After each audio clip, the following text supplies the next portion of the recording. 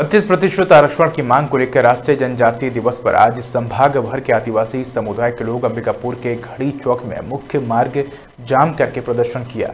इस दौरान जिला प्रशासन व पुलिस के आला अधिकारी आदिवासी समुदाय के नेताओं को मानते हुए आंदोलन समाप्त करने की बात करते नज़र आए, लेकिन आंदोलन चलता रहा।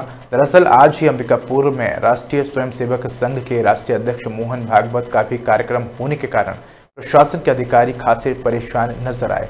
आदिवासी समुदाय के द्वारा घड़ी चौक मुख्य मार्ग में चक्काजाम करने के कारण प्रशासन ने पथ संचलन का मार्ग परिवर्तित कर दिया।